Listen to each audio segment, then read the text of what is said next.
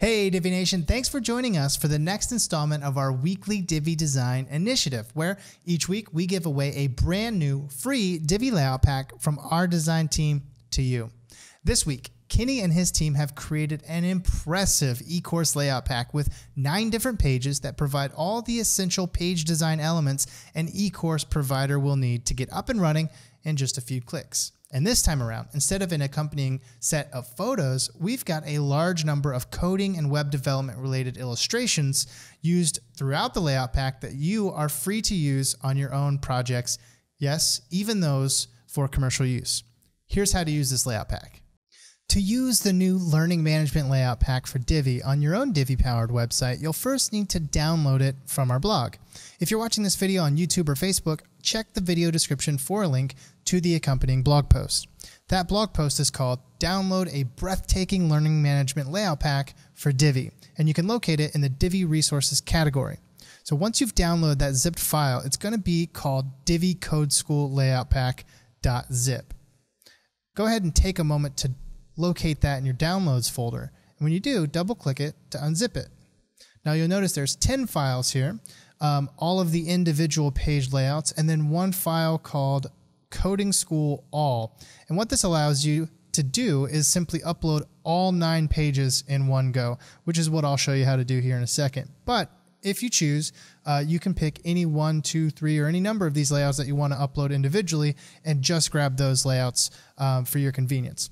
Okay, so in order to get these layouts onto your website, here's what you do. First, go to the back end of your WordPress website and in WP Admin navigate to Divi, Divi Library, and then click the Import and Export button at the top of the page. When the portability modal pops up, go ahead and go to the Import tab and click the Choose File button. Then select the Coding School All.json. Then click the Import Divi Builder Layouts button.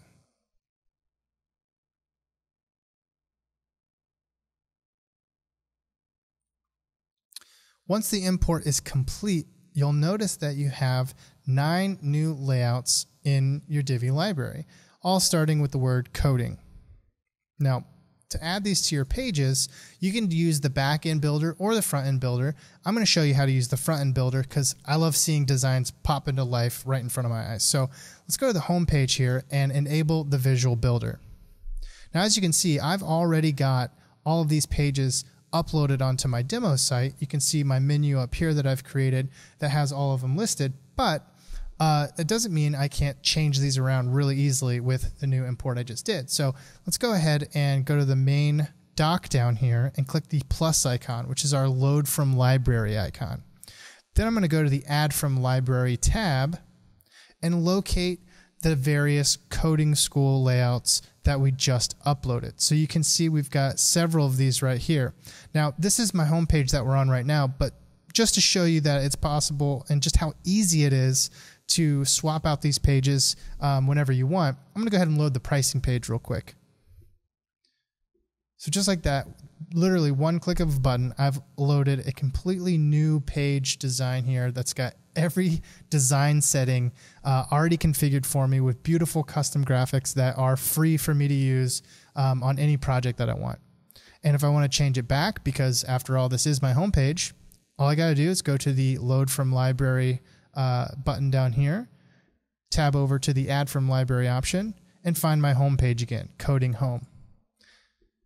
And there we go. It's just that easy. So I'm going to go ahead and click save. And then when that's saved, I'll exit the visual builder. And once you're done uploading all of these uh, pages, you'll see that you have a beautiful website ready for you to add e-course content to and monetize with these beautiful call to actions already designed for you. Well, that's all for this video. Thanks for tuning in, everybody. We hope that you're enjoying our ongoing Divi Design Initiative, which is our way of putting a little something extra special in your design toolbox each and every week. We're sure that you don't want to miss a single giveaway in the future, so please be sure to subscribe to our blog newsletter, our YouTube channel, and of course, like our Facebook page so that no matter where you get your news and updates, you'll get a notification every time we have something new to give to you. Thanks again, and we look forward to seeing you in our next video.